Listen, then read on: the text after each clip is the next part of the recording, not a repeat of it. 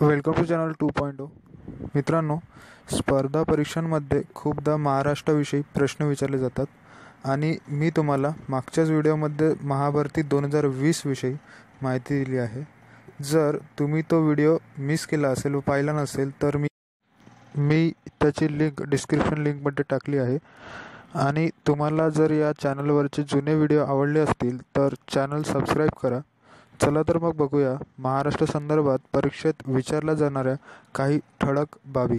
भारत पंधरा ऑगस्ट एकोणीसशे सत्तेचाळीसला स्वतंत्र झाला. त्यावेळेस सध्याचा गुजरात व महाराष्ट्र तसेच कर्नाटकाचा काही भाग मिळून प्रोव्हिन्स ऑफ बॉम्बे हे राज्य बनवण्यात आले. नंतर त्याला एकोणीसशे पन्नास रोजी बॉम्बे स्टेट किंवा स्टेट ऑफ बॉम्बे हे नाव देण्यात आले. त्यानंतर भाषेच्या आधारावर एक मे एकोणीसशे साठ रोजी गुजरात व महाराष्ट्र हे दोन नवीन राज्य बनवण्यात आली. महाराष्ट्राची राजधानी मुंबई तसेच उपराजधानी नागपूर आहे. महाराष्ट्राचे क्षेत्रफळ जवळपास तीन लाख साठ सात हजार चौरस किलोमीटर एवढे आहे. क्षेत्रफळाच्या दृष्टीने भारतात महाराष्ट्र राजस्थान व मध्य प्रदेश नंतर तिसरे मोठे राज्य आहे. लोकसंख्या महाराष्ट्राची लोकसंख्या अकरा कोटी चोवीस लाख आहे. लोकसंख्येच्या दृष्टीने भारतात उत्तर प्रदेशनंतर महाराष्ट्र हे दुसरे राज्य आहे. त्यानंतर बघूया महाराष्ट्राच्या सीमा सीमारेषा. महाराष्ट्राला सहा राज्याच्या तसेच एक केंद्रशासित प्रदेश व पश्चिमेला अरबी समुद्र आहे. या सहा राज्यांमध्ये गोवा कर्नाटका तेलंगणा छत्तीसगड एम पी गुजरात ही राज्ये तसेच दमन दीव दादरा नगर हवेली हे केंद्रशासित प्रदेश आहे. महाराष्ट्राला सातशे वीस किलोमीटरचा अरबी समुद्राचा किनारा लाभला आहे. त्यानंतर महाराष्ट्रामध्ये तब्बल छत्तीस जिल्हे व तीनशे सत्तावन्न तालुके आहेत. महाराष्ट्र प्रशासकीय विभागात सहा भागांमध्ये विभागण्यात आला आहे. त्यापैकी पुणे नागपूर अमरावती कोकण नाशिक औरंगाबाद हे सहा विभाग आहेत. महाराष्ट्रामध्ये सत्तावीस महानगरपालिका तीनशे पंचावन्न नगरपालिका चौतीस जिल्हा परिषदा व सत्तावीस हजार नऊशे त्र्याण्णव ग्रामपंचायती आहेत. महाराष्ट्रामध्ये विधान परिषद सदस्य संख्या अठ्याहत्तर आहेत. त्यानंतर विधानसभा सदस्य संख्या दोनशे अठ्ठ्याऐंशी आहेत. ही संख्या उत्तर प्रदेश व वेस्ट बंगालनंतर तिसरी मोठी विधानसभेची संख्या आहे. त्यानंतर लोकसभा सदस्य संख्या महाराष्ट्रामध्ये अठ्ठेचाळीस एवढी आहे. ही सदस्य संख्या उत्तर प्रदेशनंतर सर्वात जास्त आहे.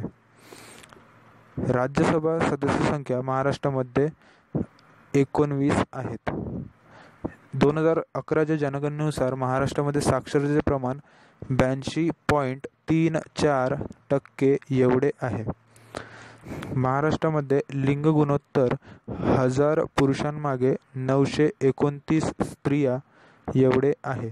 महाराष्ट्रीय अधिकृत भाषा मराठी महाराष्ट्राचा राज्य प्राणी इंडियन जायंट स्क्विरल म्हणजेच खार किंवा शेकरू आहे. महाराष्ट्राचे राज्यपक्षी हरियाल किंवा येलो फुटेड ग्रीन पिजन आहे. त्यानंतर महाराष्ट्राचे राज्यफूल जरूल आहे.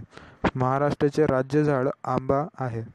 महाराष्ट्राचे राज्य फुलपाखरू किंवा किडे ब्लू मॉर्मॉन किंवा फुलपाखरू आहे.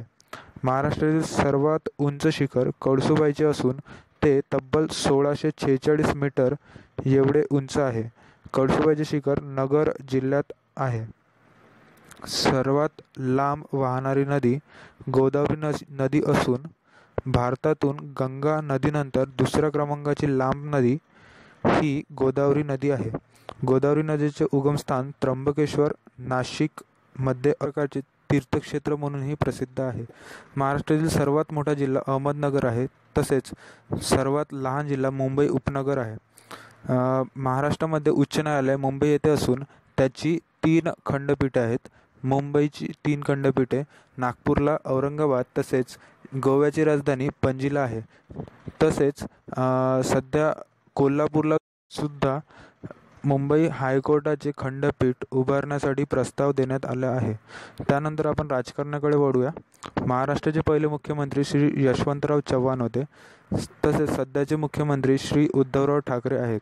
महाराष्ट्राचे पहिले राज्यपाल श्री प्रकाश होते. आणि सध्याचे राज्यपाल श्री भगतसिंग कोश्यारी आहेत. महाराष्ट्रामध्ये सर्वात जास्त वेळा मुख्यमंत्री राहिलेले व्यक्ती श्री शरद पवार आहेत. ते तीन वेळा मुख्यमंत्री होते. तर या होत्या महाराष्ट्रासंदर्भात परीक्षेत विचारल्या जाणाऱ्या महत्त्वाचे पॉईंट्स तुम्हाला जर व्हिडिओ आवडला असेल तर लाईक करा कमेंट करा आणि शेअर करा. आणि सबस्क्राईब करण्यास विसरू नका. भेटूया पुढच्या व्हिडिओसोबत थँक्यू